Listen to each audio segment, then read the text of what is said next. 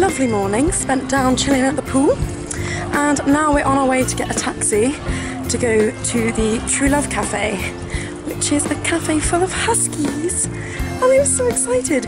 I discovered it like a year and a half ago um, and I really wanted to go so we're on it.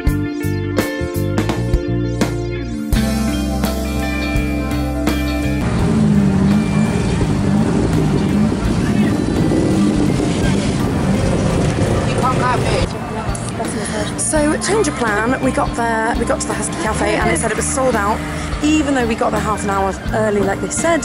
So instead we've come to the Unicorn Cafe.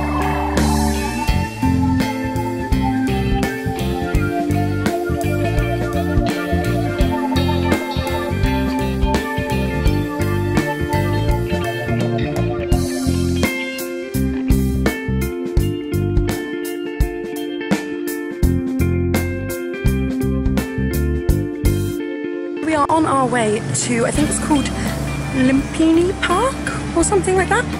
Um, we're just walking there and then we're going to get a taxi to Chinatown. We just went to the Unicorn Cafe, which was very cute. I actually forgot to take a video of the food we ate, um, but here's a picture of it. Story time, Liv just reminded me. Um, I never said about the taxi that we got from the airport to our hotel. It was terrifying. we had no idea what we were doing. I don't know, like this guy, he was just really weird. Very like- adamant to kind of like get us in the taxi sort of thing. and then he, he like took us to this random, like, There's an underground bit first, wasn't it? Like yeah, this underground- bit, and we were like, what's going on? And there was this point where we heard the doors, like he locked the doors, and we were like, it's die. gonna kill us, we're gonna die. And then, um, and then he went to fill up petrol, and we were just a bit like, it was air. wasn't petrol, was it air? So he went to this like petrol station, and they put the bonnet up, and they, I think they were filling up air. And he was talking to this other guy, and they were like looking at us in the car, and we were like, "Oh my god, they're actually gonna, they're gonna steal us away."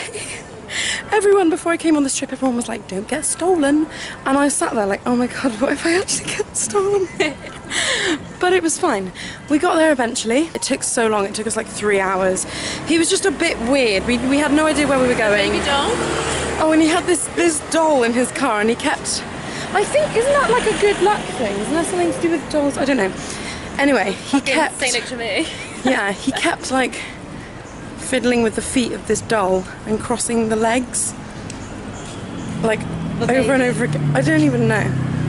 It was very strange and scary because that was literally our first few hours in Thailand. Didn't speak at all either. Yeah, he didn't speak did at all, and it was just very dodgy. But every other taxi and tuk tuk we've had has been pretty good, hasn't it? It's been safe. They've been really friendly. Um, not too expensive. tuk tuk. tuk tuk.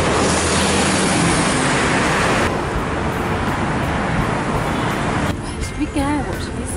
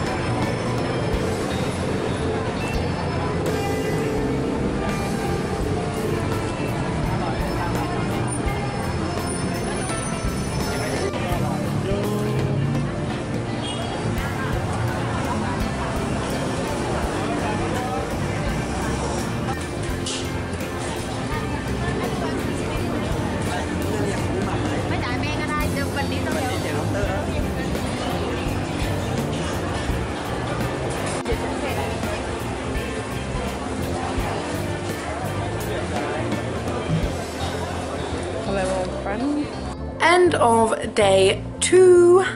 It was a very nice day. I'm still very sweaty. We've just got into our hotel and um, we've just put the aircon on so it's gonna get nice and cold.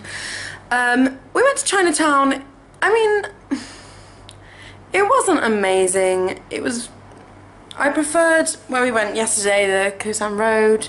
Um, because one, it was cheaper. Like Chinatown was like stupidly expensive for food.